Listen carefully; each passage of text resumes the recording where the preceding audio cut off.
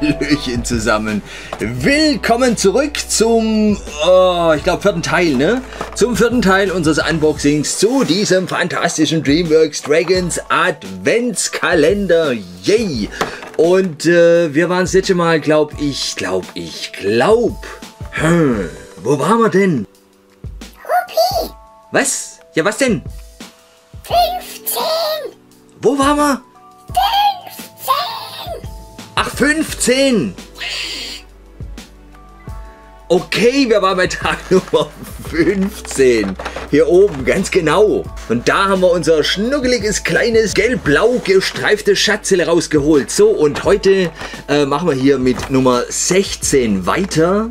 Und hier haben wir ein ganz, ganz, ganz, ganz großes Feld. So, und wenn ich mich nicht täusche, wenn ihr alle Folgen angeschaut habt von diesem Unboxing hier, dann wisst ihr noch, dass hier bei dem Bleistift ne, einiges reingerutscht war. Und wenn ich mich nicht täusche, müsste hier heute bei der Nummer 16 am heutigen Tag in so einem riesen Fach etwas langes, flaches sein, das mir bereits entgegengefallen ist, ne?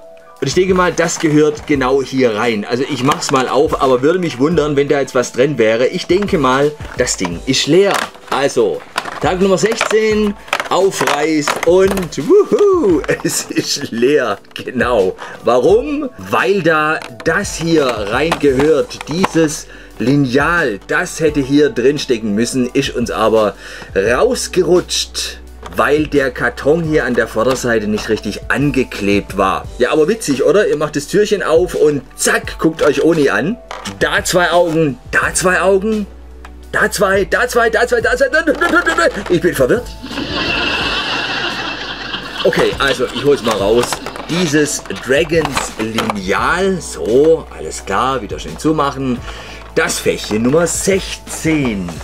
Okay, also hier ein wunderschönes, doch, doch, ist schon okay, ein tolles Dragons Lineal, was hier allerdings schon einige Schrammen hat. Könnt ihr das sehen? Kommt es einigermaßen rüber, ist ein bisschen verschrammt. Hm, sieht ein bisschen aus, als ob es schon gebraucht worden wäre, aber ist natürlich hier funkelnagelneu. Ja, wir sehen hier das Dragons-Zeichen, dann hier die Augen bzw. ein Ausschnitt aus ohne Zahns Gesicht. So sieht das Ganze aus.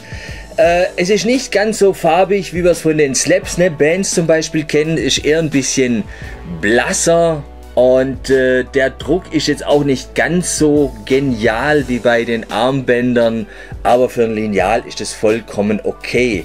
So, wir haben hier ähm, eine Länge von 15 cm, ich glaube so kann man sehen, beziehungsweise die Zentimeter Maßeinheit beträgt hier 15 cm. Ich glaube, das Ding ist bestimmt auch so um die 16 cm lang, oder? Na, 15,7. 15,7 cm und wir haben hier eine Breite von genau 3 cm. Also ein schönes Dragons Lineal von einer Seite hier bedruckt mit der Maßeinteilung bis 15 cm. Hier hinten ist es weiß. Tja, da haben wir nichts mehr bedruckt, aber ist okay.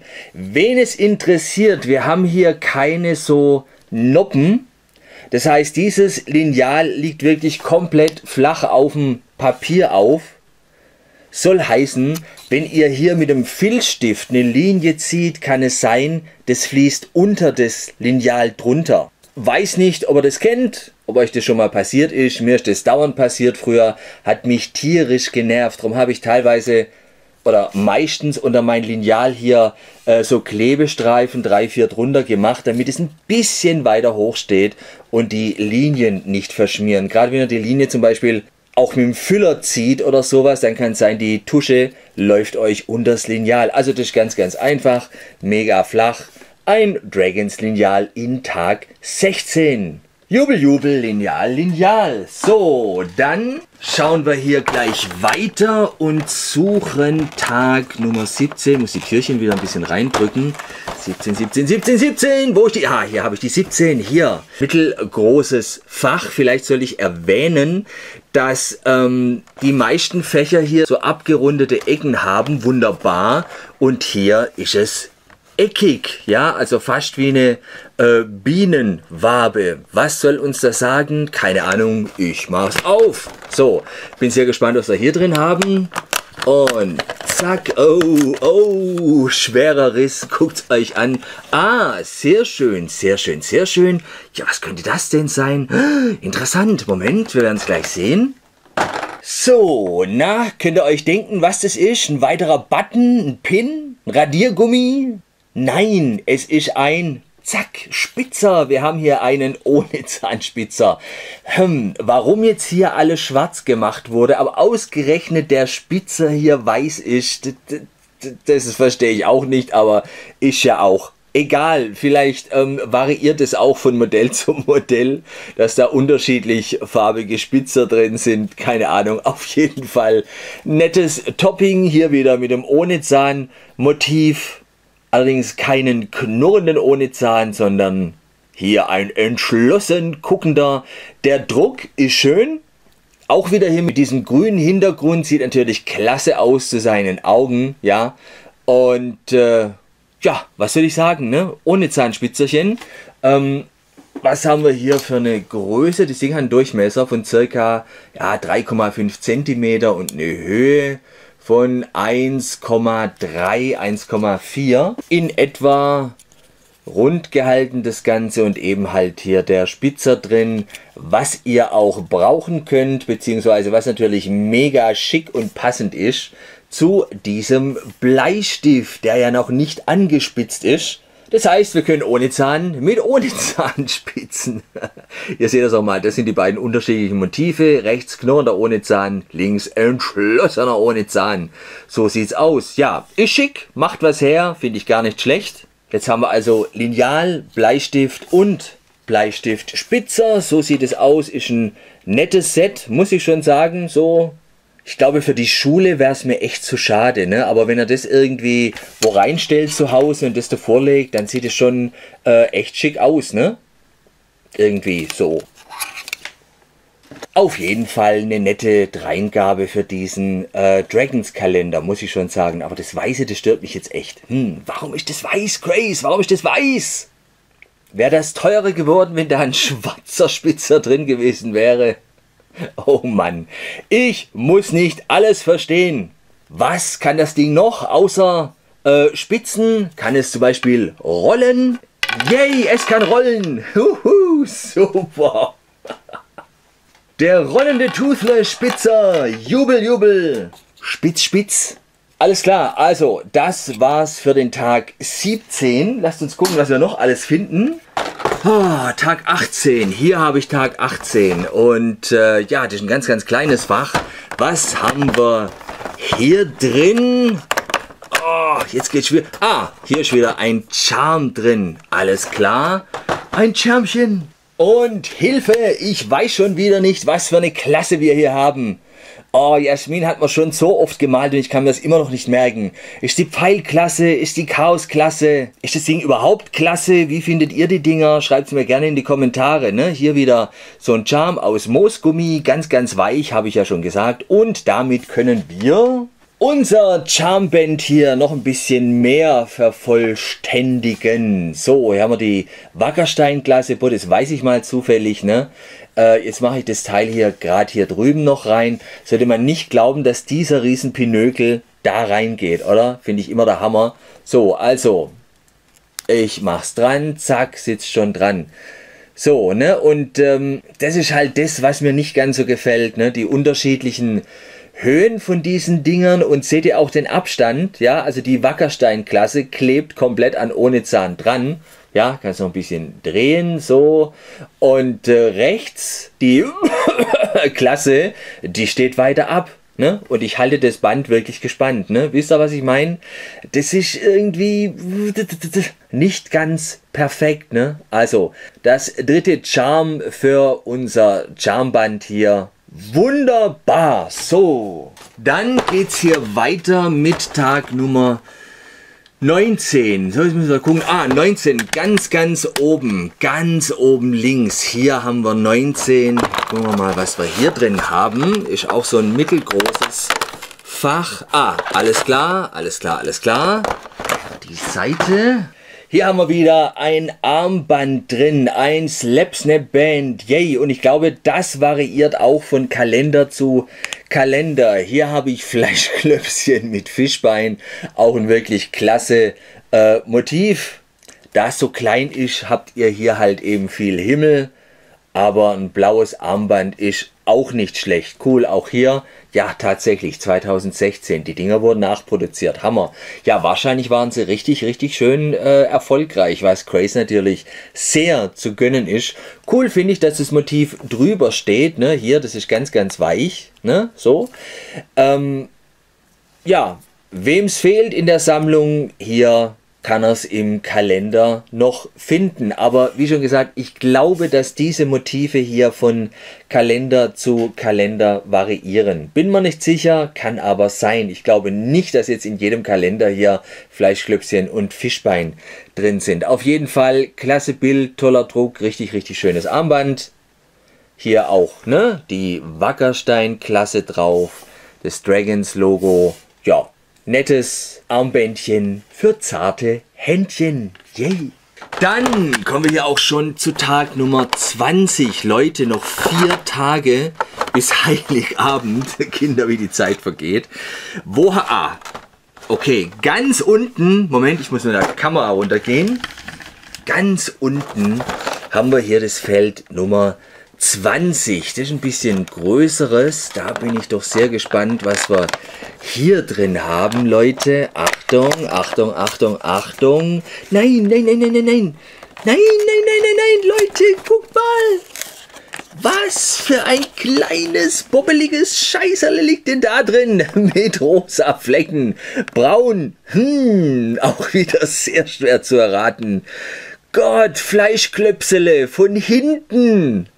Von hinten sieht er schon klasse aus. Bin mega gespannt, was uns dieser Kalender hier beschert. Achtung, Achtung, Achtung, Achtung.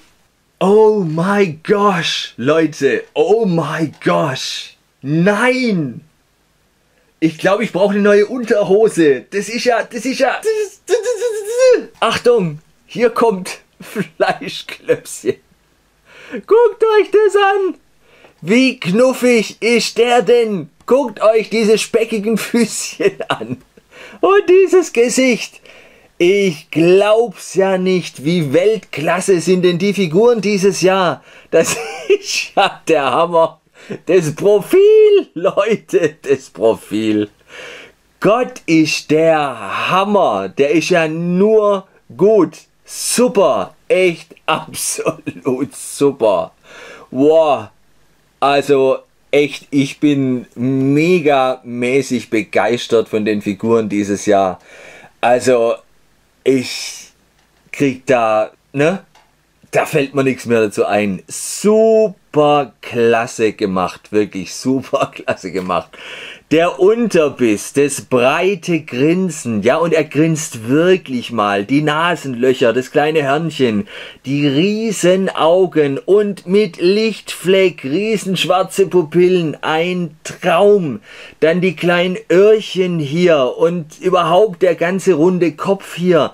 Schaut euch die rosa Wärzchen an. Ist das nicht mega goldig? So goldig die Flügelchen, die winzig kleinen Flügelchen, okay, die äh, Krallen haben sie jetzt nicht extra bemalt, muss aber auch nicht sein. Hier sind sogar ein paar Punkte, nicht rosa, aber äh, an der Seite am Kopf, da ist alles rosa. Hier hat man auch nichts mehr groß bemalt. Aber total goldig. Ihr seht hier alle zehn. Ne?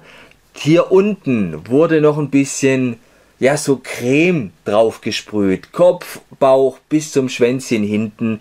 Die Wärzchen sind der absolute Knaller. Stehen richtig raus, sind nicht flach. Ihr seht's ja, wunder, wunderschön gemacht. Auch die Beinchen, ne? Guckt mal die Vordern an und die Hintern, die sind ja echte Knaller. Und vor allem auch nicht gerade, ne? Sondern ein bisschen gebogen. Das ist Weltklasse. Absolut super. Es gibt so viele äh, Modelle von Fleischklöpschen, die so, ja, sagen wir mal, wie es ist, ne? Lieblos oder pottenhässlich gemacht sind. Und das Ding ist hier also wirklich so dermaßen goldig. Hammer, absolut Hammer. Ich halte einfach mal Sturmpfeilchen daneben, ne? Ah, die passen doch megamäßig zusammen, oder? Das ist einfach nur Knaller. Hier, Hakenzähnchen auch daneben. Super, passt Weltklasse, ja? Und Kotz und wirkt natürlich. Ne? Auch die Größe. Also äh, Kronkelinchen ist hier eigentlich mal wieder die größte oder ja, sagen wir mal, die massigste in der Runde. Ja, muss man ganz klar so sehen aber wirklich super süß gemacht, total goldig. Kann man den Kopf drehen? Nee, Kopf kann man nicht drehen, der sitzt fest, okay. Aber auch hier wirklich sauber verarbeitet, die Flügelchen wurden hier wieder aufgesteckt, wie bei vielen, vielen Kronkelfigürchen, äh, aber super verarbeitet. Ich sehe hier auch keine wirklich störenden Gussnarben oder so irgendwie was, ne? hier sieht man ganz, ganz leicht, aber das stört 0,0. Die Zähne haben sie hier wirklich sauber bemalt. Ich sage ja, das Grinsen, das Lachen ist wirklich einmalig. Auch die Augen wurden sauber hier drauf getupft. Und äh, also kann man gar nichts sagen, wirklich. Also total putzige, total goldige Figur. Was haben wir denn hier für eine Größe? Guckt euch den an. Ist der nicht mega putzig? So, wir haben hier eine Höhe von gerade mal 4 cm und eine Länge von, na komm, 5, 5,5 cm in etwa. So ein goldiger kleiner Scheißer. Echt, ich, ich krieg mich nicht mehr ein. Wirklich. So, hier nochmal Sturmpfeilchen daneben. Muss sich ein bisschen an seinem Flügelchen abstützen. So, genau. Dann hier äh, Kotz und Wirk auch daneben, der sich über die Größe von Fleischklöpschen wundert. Und jetzt muss ich alle ein bisschen nach rechts rücken. So. Damit hier Haki noch Platz hat. Goldig, ne? Wie Kotze und Wirk hier nach links und nach rechts guckt zu den beiden. Also die sind mal wirklich mega goldig, ne? Sowas möchte ich als Sammler sehen. Die vier kleinen hier, die sind, die sind der Brüller. Wirklich, die sind der Brüller. Alleine wegen denen lohnt sich dieser Kalender. Das kann ich euch sagen. Also wirklich absolut fantastisch. Ich bin total begeistert. Und weil ich so begeistert bin, mache ich hier jetzt auch einen begeisterten äh, Cut, ne? Denn wir haben noch vier Tage bis zu Heiligabend und die packen wir an Heiligabend aus. Nein, Quatsch. Die machen wir im nächsten Video. Ich muss mich jetzt einfach noch ein bisschen satt sehen an den vier kleinen Brüllern hier. Die sind, die sind so knuffig, echt. Ich, ich krieg mich gleich nicht mehr ein. Ihr seht es jetzt hier auf Video. Ich garantiere es euch. Live, wenn ihr die rausholt aus diesem Kalender, kommen die noch besser. Wirklich. Ich merke es immer beim Beschneiden, beim Bearbeiten der Videos, wenn ich die Figuren sehe. Total goldig, aber wenn ich sie dann live von mir in der Hand halte, sind sie immer noch eine Klasse besser. Definitiv. Ne? Also das möchte ich euch auf jeden Fall noch mit auf den Weg geben. Allein schon wegen den ganzen Figuren kriegt der Kalender von mir mehr als nur einen Daumen hoch. Weltklasse, wirklich Welt, Weltklasse. Also ihr Lieben, ich sage wieder ciao, tschüsschen. Wahnsinn, wie schnell die Zeit vergeht. Wir sehen uns wieder beim nächsten Teil, beim letzten, vorletzten Teil, keine Ahnung, zu unserem Unboxing zum DreamWorks Dragons Adventskalender. Bis dann und tschüss.